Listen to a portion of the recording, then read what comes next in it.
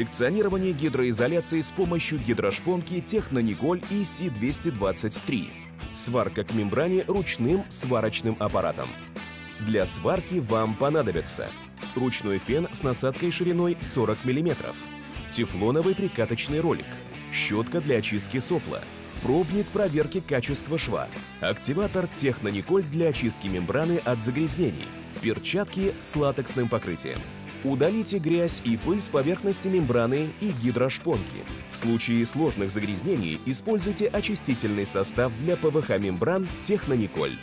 Важно! Применяйте только рекомендованные типы очистителя. Перед началом работ проверьте оборудование. Корпус аппарата, отверстия для воздуха и дисплей должны быть чистыми и все пиктограммы отчетливо просматриваться. Сетевой кабель не должен иметь повреждений.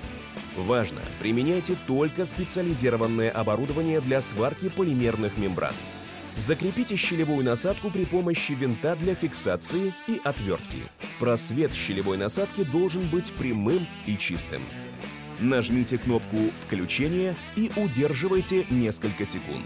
Для сварки мембраны и гидрошпонки выберите температуру в зависимости от погодных условий и используемого по ширине сопла. Уложите гидрошпонку Технониколь EC223 или EC324 плоской стороной на поверхность мембраны.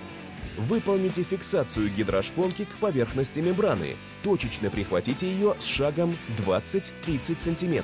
Это позволит избежать смещения гидрошпонки и образования волн при сварке. Насадку шириной 40 мм поместите между свариваемыми поверхностями мембраны и гидрошпонки.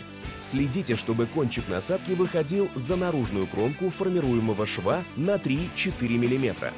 Непрерывно ведите аппарат вдоль шва, равномерно прогревая обе поверхности. Важно! Используйте тефлоновый прикаточный ролик для достижения достаточного давления.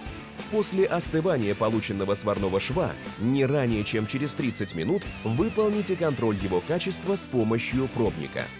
Для сварки швов большей длины рекомендуется сварка автоматическим оборудованием. Параметры сварки аналогичны подобранным ранее параметрам для сварки мембраны. После остывания проверку качества сварного шва выполняем пробником. Секционирование гидроизоляции завершено.